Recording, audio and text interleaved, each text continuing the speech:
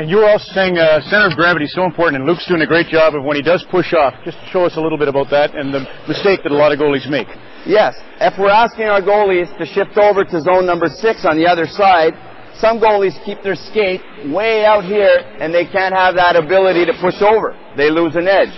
Now, if Luke, we're asking him to put the skate underneath his center of gravity and to rotate his body to T-push over there and to be as efficient as he can.